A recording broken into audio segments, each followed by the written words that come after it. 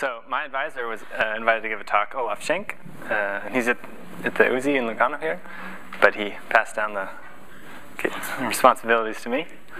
Um, so I wasn't 100% sure what I should I talk about, and I, didn't, I don't know the crowd too well, but I figured I would just talk about it. SpecFem 3D, it's a fairly well-known code in uh, seismology, and uh, it has a GPU version, which is kind of rare uh, as far as big science codes go. Or the a GPU version that's actually faster and stuff like that, so that's nice. Anyway, so I'll get started. Um, so basically, uh, I'm going to give a little introduction on SpecFem 3D as a kind of, and, and sort of talk about as a classic example of a current scientific code that runs on a big uh, HPC cluster. Um, and sort of the, the sort of the, sort of the idealism of MPI with Fortran on a big cluster, you get great performance, assuming you use the right algorithms, which it does.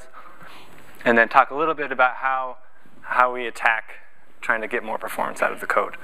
Um, so add GPUs, maybe better algorithms, and, and, and also why we need to get more performance, why we care.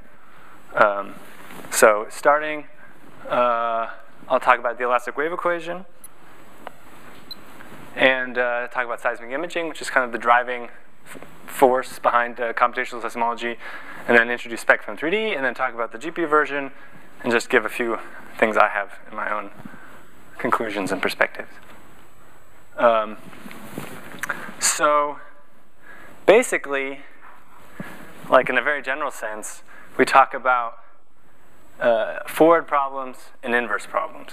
So a forward problem is, so we have G, some sort of let's call it like a simulation function. It can simulate waves. And so the idea is that you give it an Earth model and maybe an earthquake model, and then you, you can put that into the parameters and you hit start and you simulate and you get data. You get some output. And so it runs, it simulates, and it's a, so it's a forward problem. And the other kind of problem is maybe you already have some data. You recorded some, an earthquake happens, you record some data outside, and you want to try to figure out, well, which, which Earth model best describes uh, that data. So you have a simulation, you have a thing, something that the simulation can represent the physics, but maybe you don't know your model parameters. So in, in general, these Earth, the Earth model, we don't necessarily know exactly like the, the velocity, the wave velocities in the Earth. Like we have a general uh, scheme, they have a general idea what's happening on the way down, but they don't necessarily know a lateral, like, like sort of uh, horizontal, they only have a radial description of the Earth model um, in terms of uh, velocities of, of waves. Um, and so this is kind of, and in general, these, the forward model, I say it's kind of like an easy problem. The, the numerical algorithms are well understood. They've been well understood for 30 years. And the programming is also relatively well understood. Uh, it's, it's Fortran MPI. You can get good performance you're, you're sort of, uh, in, in, that part, it's sort of, sort of simple. Uh, it's straightforward to do. But this inverse modeling, trying to figure out m, because g is not some big matrix, it's, it's some nonlinear function. So trying to figure out m is, is hard. It's the, the, the algorithms are, aren't, aren't necessarily there. Uh, and so, so this is that's what I call a hard problem. So uh, the forward problem, here, so here we have a picture from the SpecFem manual of a simulation they did for the cover uh, in Los Angeles. And you see here, around, going around, there was some source in the middle, and you have the seismic waves propagating outwards. And this is sort of a, this is a forward problem. We're simulating waves. Um, and so this is the model we're talking about. Um, so this is the elastic wave equation. So you don't need to be a physicist or a mathematician. All you have to really know is you have two derivatives in time. And this, this one, we have uh, one derivative in space here, and the second one over here. So two derivatives in space. And that's really all there is to it. Sort of classic hyperbolic PDE. Um, and, and the one interesting thing is that the C is no longer just some sort of scalar. It's a, it's a tensor. And so you have basically the elastic wave equation, as opposed to the acoustic wave equation, the, the degrees of freedom. So you're not, you don't just have scalar values at every point. You actually have a vector. So uh, the points themselves displace themselves a little bit. And so that's really all that there is to know about this. Um, obviously, there's a lot of physics behind all of this, but that's not right over here. Um, and so we have this PDE, but now we need a discretization. So the, uh, and we're not we don't do any more of these sort of finite differencing, and now we do finite elements. Um, and the one that, that's quite well known now and, and, that's used in SpecFem is called the spectral element method. And uh, the spectral element method is just a continuous Galerkin method, finite element method, but it has this nice property that it uses Lagrange polynomials that are co-located on these J GLL points, the uh, Gauss, Legendre, Lobatto GLL points. And so you get, uh, so if you just do the standard finite element thing, you get this matrix, this system here with M is a big matrix, U is a big long uh, vector with degrees of freedom, uh, K is a big, a big, a big matrix, and U, U is just a, the same thing. Uh, however, with these GLL uh, uh, Gaussian quadrature points, we can make M diagonal, strictly diagonal by construction. And we retain the convergence properties of the original finite element scheme, so that's why it's called spectral convergence, that's why they call the spectral element method. And so we can rewrite it in this form, where we have two derivatives over here and no derivatives over here, and so we can do time stepping now. Uh, explicit time stepping. So we don't have to we don't have to solve any matrices, it's all explicit. Pretty simple. And so this is very nice for parallelization. And just a few more things about the spectral element method. We, are restricted to hexahedra currently. So if you try to use tetrahedra, just so hexahedra are like cubes, uh, and, and, tetrahedra, for instance, are much more flexible from a meshing perspective, but the quadrature rule is unstable, so you can't use them. Um, and so if you do want to use tetrahedra, you have to use a discontinuous Galerkin method which is, there's one in, in Munich called ADER-DG, which uh, is a similar type of code. Um, and the meshing can be quite difficult. There's actually software packages, one of called Trellis, uh, originally originated as Cubit, which is developed in one of the national labs in the States. And so uh, this is just one thing to keep in mind. Uh, so meshing is quite, quite something of a challenge for this. So time stepping, um, you can use any explicit time stepping scheme you want. Uh, so we, uh, the SpecFem code uses Newmark time stepping, which is relatively common in such codes, and it's quite nice. It, it, conserves energy, or is a form of discrete energy, um, and like all um, explicit type time stepping schemes, it's limited by the, uh, the CFL condition, which is just simply just a limit on the delta. The, the time step is simply limited by uh, the smallest element in the mesh. Uh, uh, normalized by the, the, the, local velocity. Um, so we actually have ways of getting around this now, uh, and I, have, I can add, talk about that later if you want. Um, and, and, the nice thing though with this scheme is basically this is a nice big vector update, and then here we have this m inverse times the stiffness matrix, and stiffness matrix is sparse. Uh, so this is sort of where the, the meat of all the computational time is spent, and the parallelization we just do domain decomposition and just synchronize on the, the, the boundaries at every time step, just right there. And that's all the, all the MPI you need. So I have a little movie. Let's see if it runs full screen. So this is a, a movie of a, just a simple box with a seismic source in it, and we made it look extra cool. Uh, uh, so then basically you have a source located somewhere here, and then we make, made a little cut and made sort of cool animation, make it look cool. But this is basically the idea. And we have uh, absorbing boundary conditions on the on the walls. And so if you if you watch if you watch on the boundary up here, you'll notice a very small amount of reflection happening that because the absorbing boundaries aren't perfect. So just a teeny bit of reflection you can kind of see bouncing back. Uh, but we consider that a tolerable amount of reflection. Um, this is kind of basically, this is what SpecFem does. Simulates waves in a box. Um, and of course, you can make the box whatever shape you like. You can make it a mountain or have features in it. Um, and then, and the main thing you can you can have, you can localize the velocity structure inside the box. So uh, you can make it, make an Earth model out of it. So that is, um, that's the forward problem. Uh, so we can simulate waves on hundreds and hundreds of thousands of cores without any trouble. Um, so now the inverse problem, the imaging problem, is, is much more interesting for most seismologists. Um, and basically they're trying to do and, and also in, and for industry as well, trying to do uh, uh, oil discovery and stuff like that. So basically, uh, imaging or something that's called tomography or inverse problems. Um, so um, we're just trying to minimize the misfit. So we have the, our, this is our forward problem. We have some Earth model, some starting model, and we have some data that we recorded somewhere, either using a synthetic model or real data. And we're just trying to minimize sort of the L2 norm between our simulation and our data that we have. And then we have some regularization. And the basic idea is we have some sort of functional, and using these joint tomography methods, uh, we can get a gradient. And a, basically, a gradient says um, how we should step, how we can step, take small steps to update our model.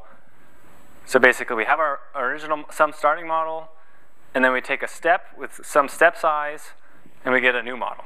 And that, and that new model will reduce the error between the simulation and the data we have. Um, so here is just like an example update. This is an example gradient. So all the little blue dots are sources that we have. And the red is kind of like where the update is most needed.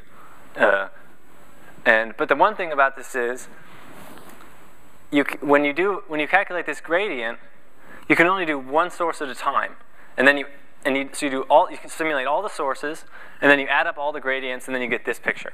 So this is made with like 150 gradients.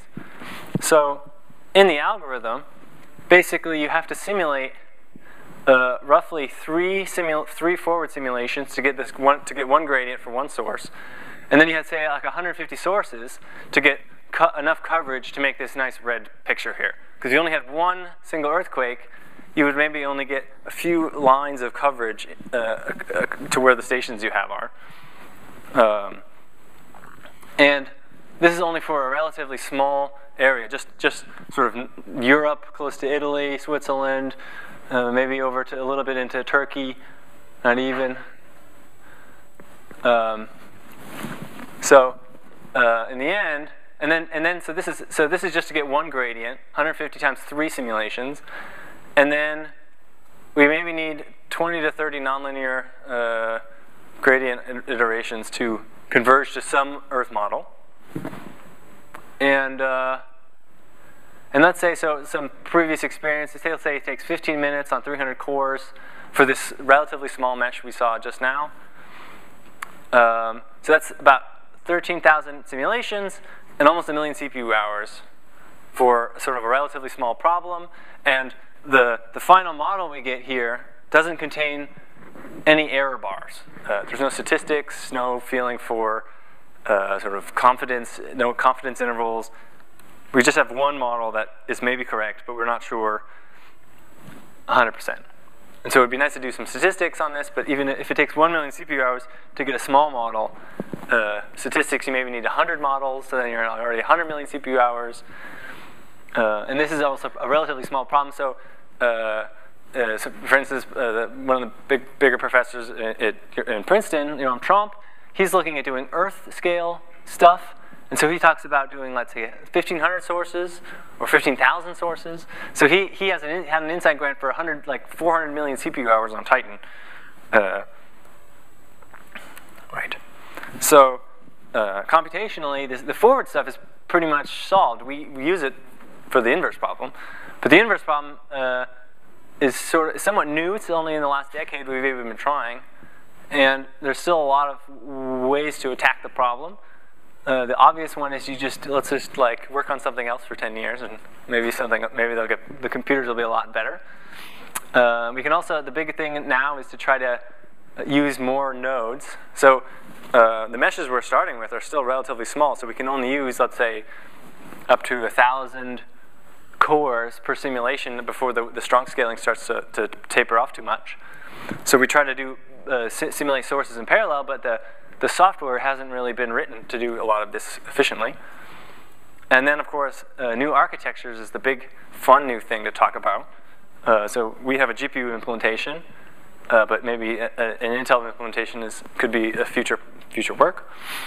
And then, of course, the, another big thing is better trying to work out better algorithms. So Uh, one is maybe avoiding this uh, CFL condition via local, local time stepping, or uh, improving the um, adjoint methods and the gradient updates themselves to, to get more confidence in the model uh, more quickly, or just reduce the number of iterations required.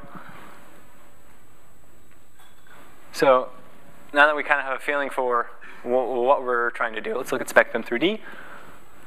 Uh, so SpecFem 3D is generally split into two packages. There's the global version, which is you simulate on a fixed global mesh, and it doesn't not really that flexible. And then there's the Cartesian version, um, which is you can basically give it any mesh you want, any hexahedral mesh you want. Um, and so it's a classic Fortran 95 code. Uh, it optimizes really, really well.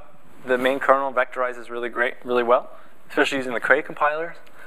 Um, and the Intel compiler works well too. Um, it just it uses it's purely MPI based. It doesn't have an OpenMP version. And for us in practice, that's not really that big of a deal. Um, and we also have a GPU version that's integrated into the code.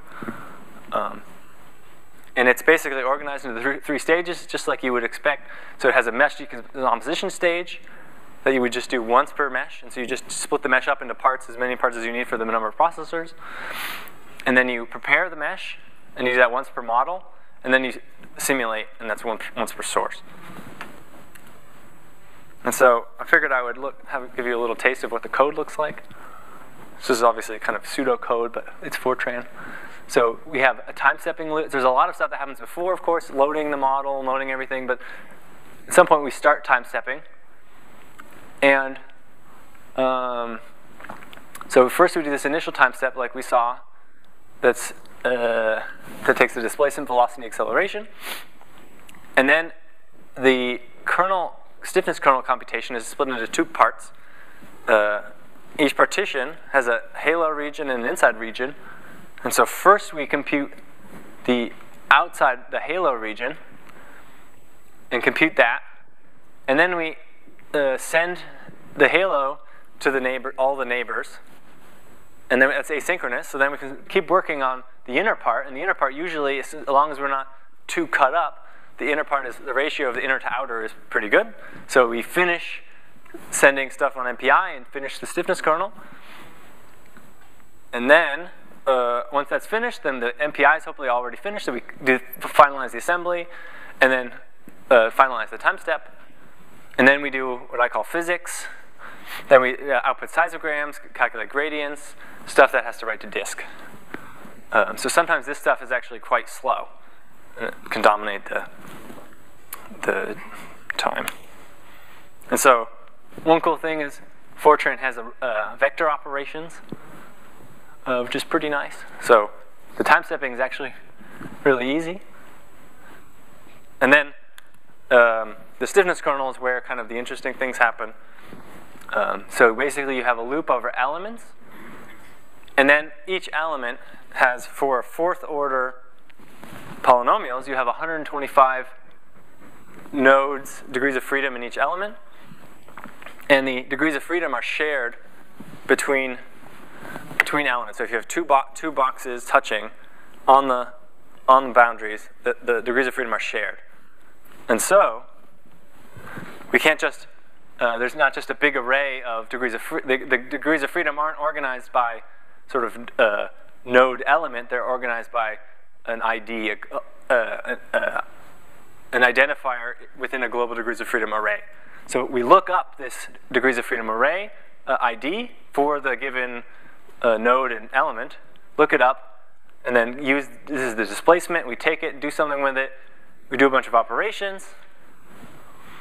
And then, so this is a gather operation in general. And then here we have a scatter operation. So we have all these contributions we calculate, we, we add them to the current value. And this is an assembly operation. So very often in finite elements you talk about assembly. So this is an implicit assembly on the boundary. Uh, each element adds their contribution to that uh, shared node. Uh, so in a shared memory situation, this has to be done atomically. So on OpenMP, this works very well. And as of Kepler GPUs, the atomic operations are fast enough that this is, this is fast enough. Uh, and, on Fermi generation and, and the one before that, uh, we actually had to use coloring algorithms to make this fast enough because the atomic operations were too slow.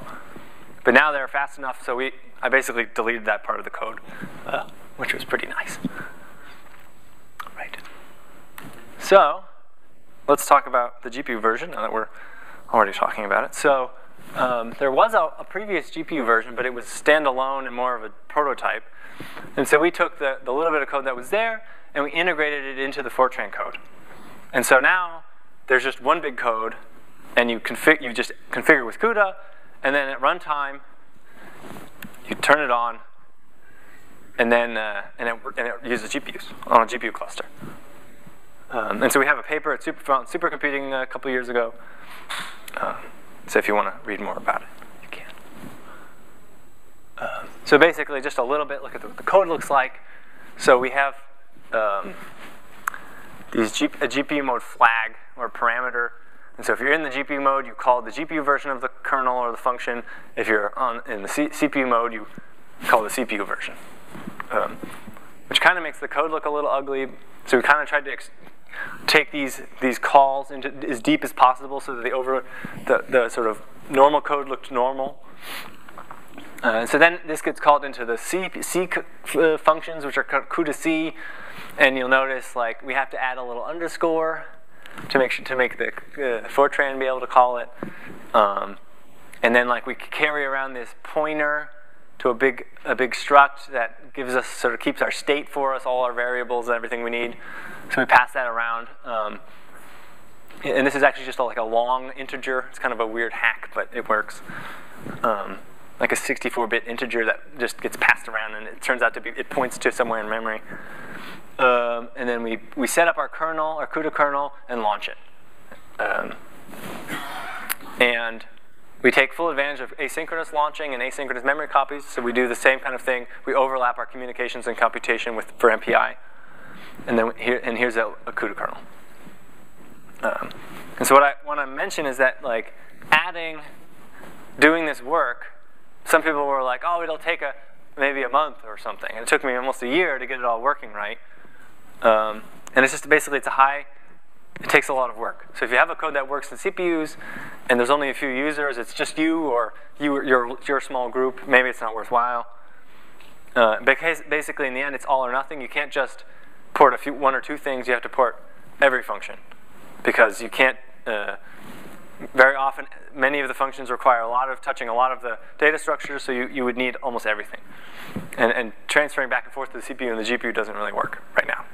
So maybe in the future, if the GPU starts living on the same processor using the same memory, then this stuff will work. Then you can just you can just oh we'll just write this one kernel, the big the big heavy stiffness kernel, and we'll write that in CUDA, and everything else will be in the CPU. That would be ideal.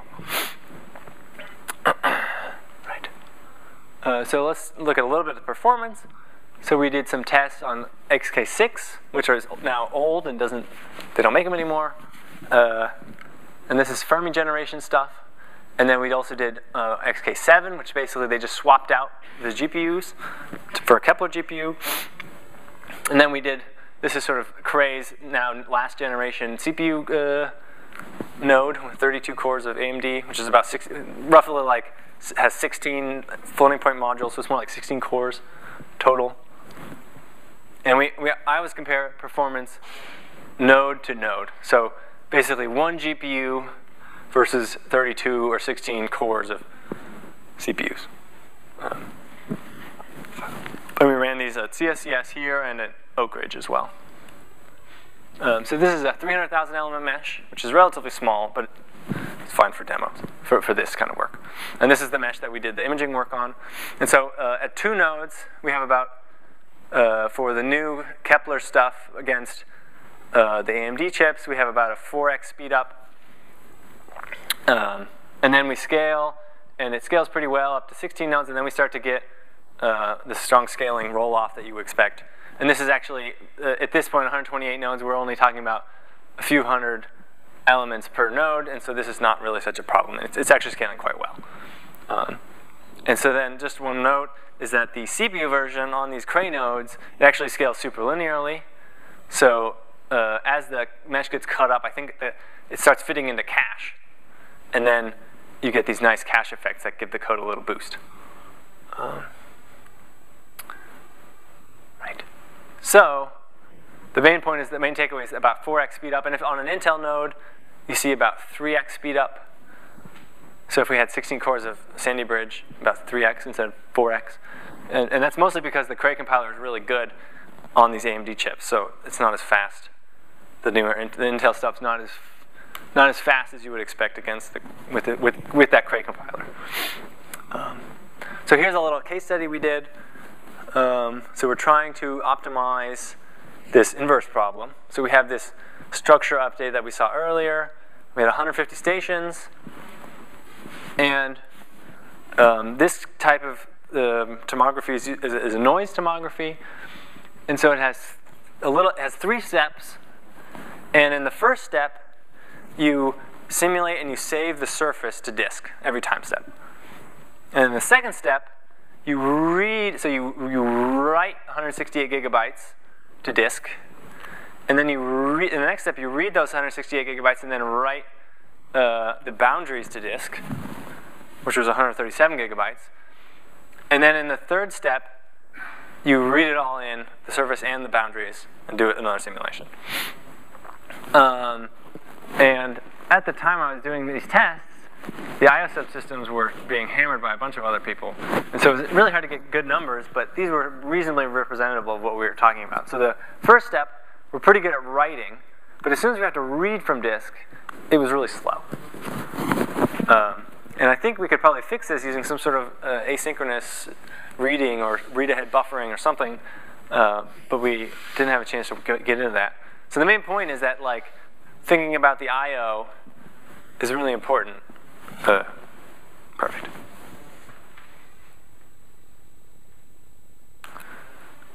Um, is, is kind of a really important part of all of this. Uh, so maybe even like having tools and, and, libraries for doing asynchronous I/O would be really handy. Uh, right. So I, I, thought I would have one slide as a sort of as a person who has their, has their is knee deep in Fortran every day. Um, uh, de dealing with SpecFem and putting new algorithms into the SpecFem, uh, sort of the idea that uh, at the time it was created, it was sort of started around 2000. And I think Fortran at the time was a really good choice. Um, the code is clean, it's readable, uh, it's relatively relatively nice to use, and but but at the same time, Fortran is really kind of as soon as you start to get into some nicer languages, it's like oh, I have to do everything. Like the other day, I was I needed to compute just I had like two MPI partitions, and, they, and I had to compute the union of two sets of indices across the MPI partitions. And there's no library routine for this, so I had to do it by hand in a, in a slow way. And I didn't want to write, sit there and sit there for a week and write a better uh, um, merging algorithm. Um, and if I was using a, like some normal, like a Python or something, I just type Python. Uh, um, union into Google, and then oh, there's the library for it. Like use it, think, and it's I'm using a decent algorithm for it, and it's already right there. Um, and and and similarly, so I think if I was writing today uh, a new a new uh, rewriting SpecFem, I would choose C++ and then use the Eigen matrix library, which is a templating library, which is pretty awesome. And it allows you to write matrix vector and matrix matrix and vector and scalar things looking like, it looks like MATLAB, but, and it's doing fusion and, and uh, Sim, SIMD instructions and everything. It makes it really fast and really readable. So that's really nice. And C++ is a little bit more friendly, let's say, than Fortran. Um, and sort of the current way of doing stuff now is basically you do something in MATLAB, or a numerical mathematician does, they write it in MATLAB, they give it to you, you look at it, learn how it works, and then you sit down for six months and you rewrite it in C++ or Fortran, and then you, and then you get it running, and then you fix bugs for another month, and then it finally it works.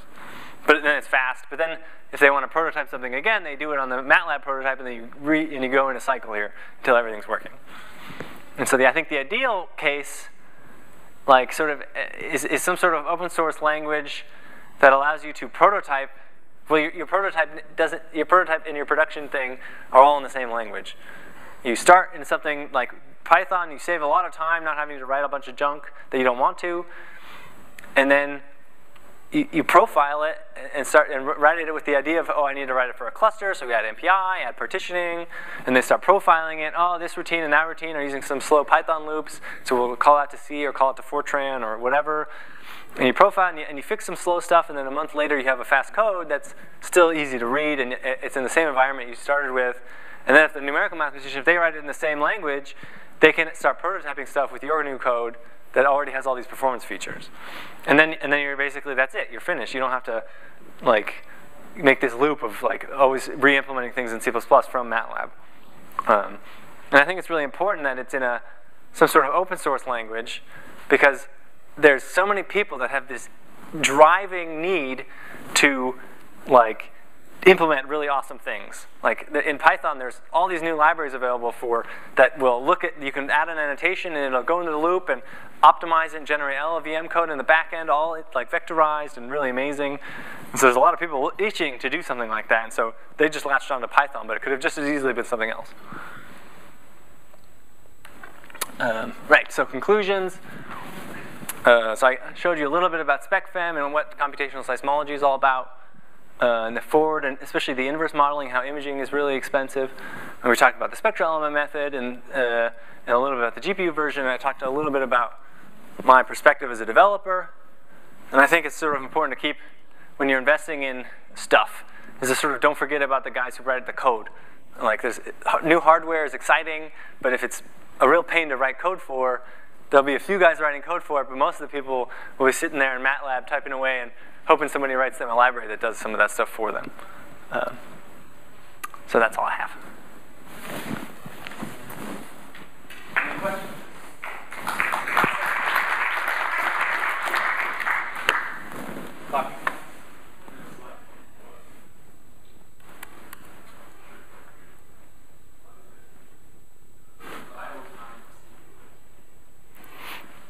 Um,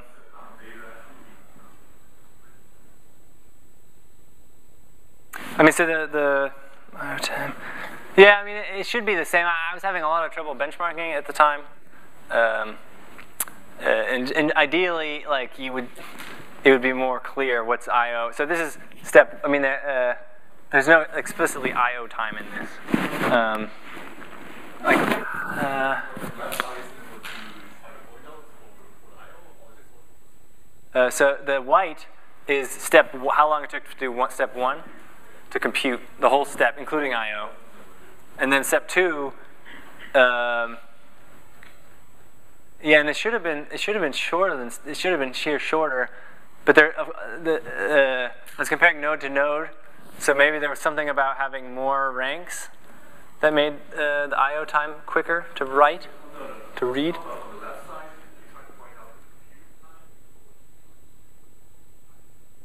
Uh, it's total time, total runtime. So it includes compute and I/O. So it's not totally like self-consistent. So like ideally, this blue, this light blue one would be slightly longer than this light blue one, but for some reason I couldn't get. It, it just always happened that this was the case when I did the benchmarks. Yeah, so it, it could have easily been. Um, like if I did it now on the new system, like it probably would come up with different results.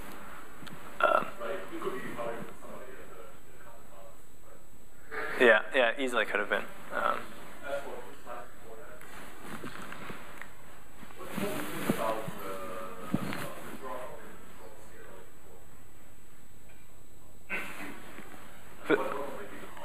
the G, this one?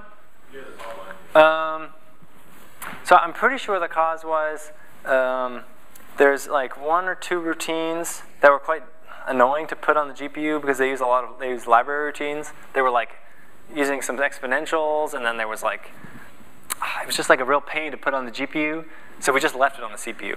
But then as soon as you scale down, like as soon as you add enough GPUs, all of a sudden like the time to compute everything was really small. So that one little chunk of CPU time, that's usually really like 1%, all of a sudden became um, like a very large part of the serial execution time. Like it was sort of Amdahl's law, like for, like I think if you basically if you fit Amdahl's law to this curve, you get like three and a half, four percent or something.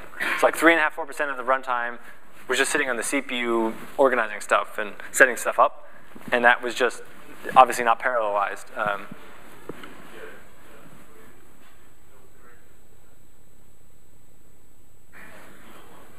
yeah, yeah, and, and, I mean, in the, in the end, because we we can do mostly we're images we're interested in imaging. Uh, so we can do, uh, here we go, we can do 150 sources essentially at the same time. Here we're mostly limited by the I.O. subsystem.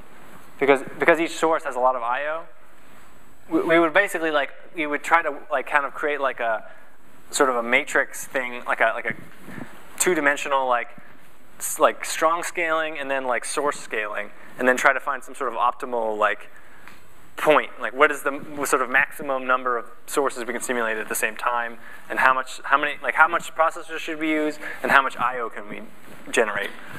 Um, and so, ideally, you would sort of do some tests and try to work out uh, how many sources you can do at once, and then do strong scaling until you feel like that's enough. Uh, Any others?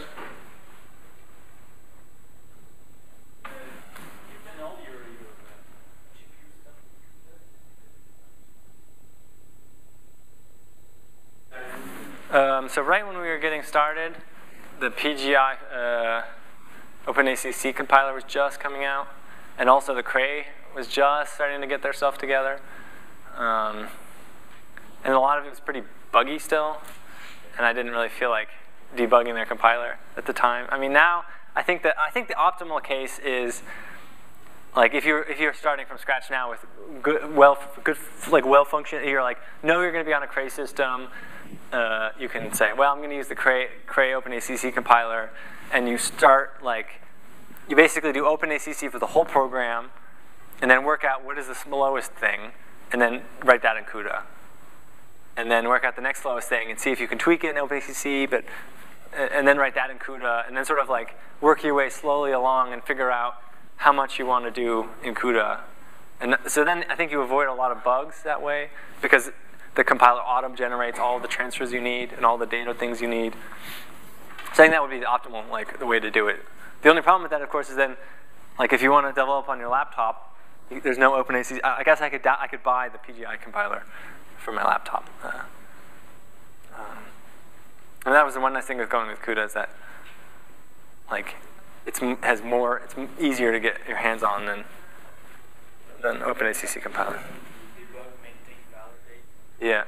So this is, this is the main problem I, I run into a lot, is that like if some, some physicists, they added some new thing, and they're like, oh, how, how do I use the GPU version? And I'm like, well, did you, who, who, do you know a GPU developer? Like, I don't have time now, but maybe we, like someone could write that code for you, and then they have to like go through the whole process of like writing that CUDA kernel and then going in the beginning and allocating the special arrays they need, and it's quite a lot of steps to like take a simple little Fortran piece of code that is more physics than complication. It's like it's only affecting a small amount of elements, and then you, you, you go through quite a lot of effort just to get it on the on the GPU.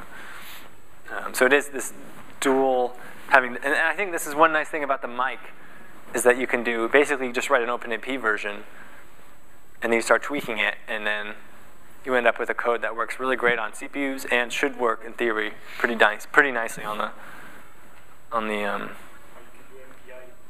yeah, so this is also like you could run like four ranks on an on the MIC, and then like I guess how many cores they have like 80. So you'd have like 20 threads running on each rank, and then you maybe and use and have you use your partitioner to reallocate. So you have like you, you have a good partitioner that you can generate like the right size partitions for the rank, for this uh, the MIC, and then maybe also for on the CPU as well. So you could do both at the same time using the same code basically. So this would be pretty nice from a developer perspective. So you don't have to keep maintain two versions and everything. Or at least minimal, like maybe just the one kernel. It's you can't optimize it as well for one or the other. Um, but I haven't tried. I haven't tried this yet. Uh, something I was thinking about when they first came, and I think they have a few MIC systems at CSCS, but I've never tried them. Uh, Thank you, Matt. Yeah.